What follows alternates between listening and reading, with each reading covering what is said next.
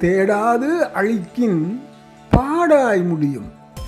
அறிவு தேடல் கொண்ட ஆன்றோர்கள் அனைவருக்கும் முருகு தமிழ் வணக்கம்.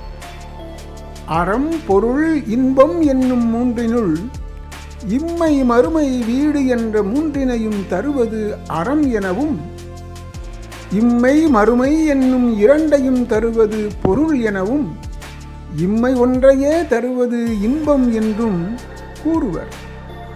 உலக வாழ்விற்கு பொருள் அவசியம். அது போதிய அளவு இல்லாத போது வாழ்க்கையே வருத்தம் உடையதாக அமைந்துவிடும்.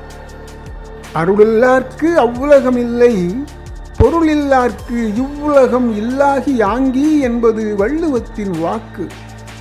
தேடல் உழைத்தல் ஈட்டல் சேர்த்தல் வகுத்தல் காத்தல் என்பவை பொருளுக்கான அடிப்படை காரணிகள்.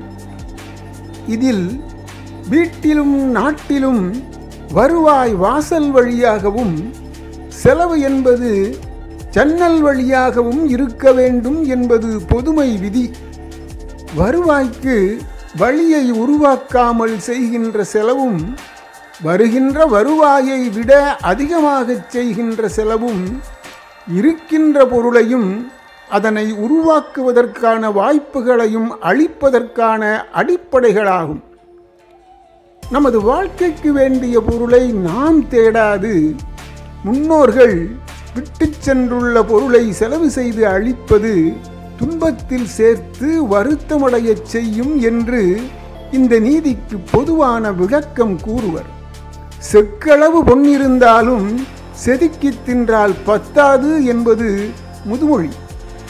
பொருள் வாழ்க்கைக்கு மட்டும் அல்லாது அருள் வாழ்க்கைக்கும் பொருந்தும் வகையில்தான் இந்நீதி அமைந்துள்ளது.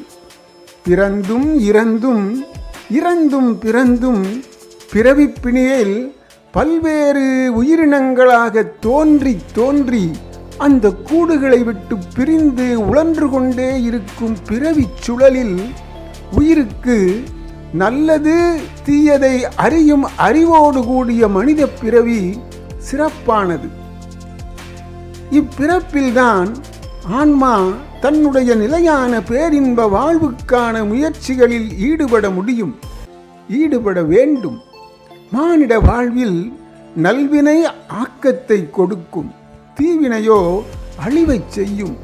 முற்பிறப்பில் செய்த நல்வினை தீவினைகளே பூவுலகில் பிறவி எடுத்தவர்களுக்கு துய்ப்பதற்கென்று சேர்த்து வைக்கப்பட்ட பொருளாகும் என்பதை ஒளவையார் அருளிய நல்வழி புண்ணியமாம் பாவம் போம் போன நாள் செய்த அவை மண்ணில் பிறந்தவர்க்கு வைத்த பொருள் என்னும் கால் ஈதொழிய வேறில்லை எச்சமயத்தார் சொல்லும் தீதொழிய நன்மை செயல் என்று தீய செயல்களை விடுத்து அச்செயல்களை தேடிச் செய்ய வேண்டும் என்பதை வலியுறுத்தி உள்ளது.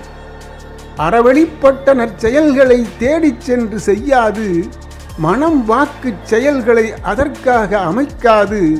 தவறான செயல்களில் தடம் பதிப்பது அழிவுக்கு வழிவகுப்பதுடன் இப்பிறவி பயனை அடையாத குற்றத்திற்கும் உரித்தாக்கும் என்பதை வலியுறுத்தி தேடாது அழிக்கின் பாடாய் முடியும் என்னும் நீதி உரைக்கப்பட்டுள்ளது எனக் கொள்வதும் பொருத்தமாக இருக்கும்.